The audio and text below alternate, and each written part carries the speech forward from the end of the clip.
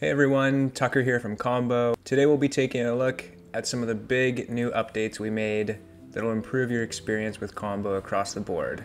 Let's hop right into it. So the first thing that you'll notice is a new look and feel for your library. We've made it cleaner, faster, and easier to navigate. We've also introduced the ability to preview your clips before you actually start editing. To do that, you just have to click on the ellipses here and hit preview video.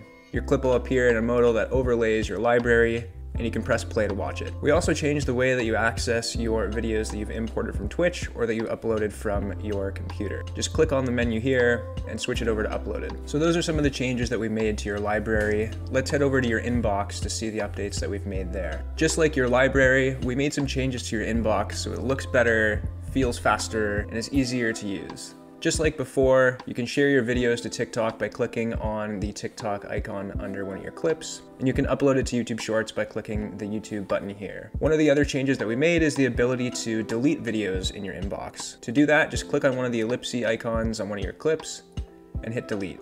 You can now also watch your videos after they've been edited straight from your inbox so you can watch your videos before they're shared to YouTube or TikTok. Just hover over one of your videos and hit the play button. Here, a modal will overlay your inbox and you can watch your video here. Let's hop into the studio editor to see some of the improvements we made there. Some of the improvements that we've made in the studio are behind the scenes that makes your experience feel faster, snappier, and just an overall better experience. Fixed a lot of bugs and made a bunch of improvements that people have been asking for. One of the improvements that we made is the ability to select multiple layers in your timeline at once. If I shift click on two of my layers here, I can see that they're both selected.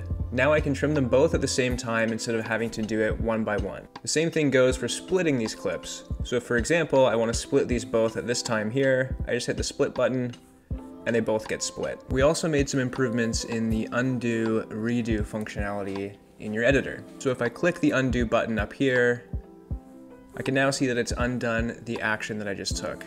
I can press the redo button to reapply that action. So that covers some of the main updates in this latest release of Combo. Stay tuned for more new features and improvements to the entire platform coming over the next couple months. If you have any questions, comments, or feedback, feel free to let us know in the comments below or join our Discord server. We look forward to seeing what you create with Combo and happy clipping.